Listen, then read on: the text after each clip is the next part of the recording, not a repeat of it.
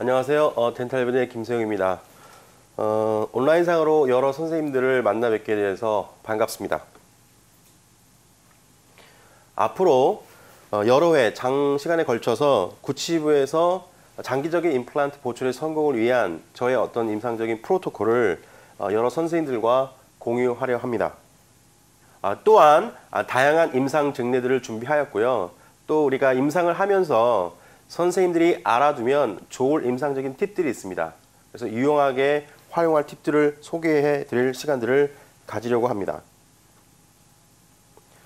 자, 이 슬라이드는요, 저의 임상적인 프로토콜을 이렇게 요약해 놓은 건데요. 어, 맨 처음 보시면 다소 이렇게 혼란스러울 수도 있습니다.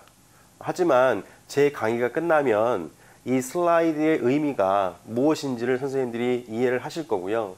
또한 저의 임상적인 프로토콜을 어, 동의할 것이라고 저는 믿고 있습니다. 그러면 왜 이러한 어, 저의 임상적인 프로토콜을 저희 병원에 적용을 하고 있을까요? 어, 선생님들이 아시다시피 임플란트 치료는 다음과 같은 과정으로 이루어지고 있습니다. 첫 번째 환자가 왔을 때 환자의 진단 요소를 바탕으로 해서 치료 계획을 수립하게 되시죠. 그게 이제 일반적인 치료가 될 수도 있고 임플란트를 이용한 치료가 될 수도 있겠습니다. 임플란트를 이용한 계획을 수립하셨다면 처음 단계가 바로 수술 단계일 것입니다. 뭐 간단하게 식립하실 수도 있고요. 어드밴스 서저리를 동반한 임플란트 수술이 어, 행해질 수도 있겠습니다.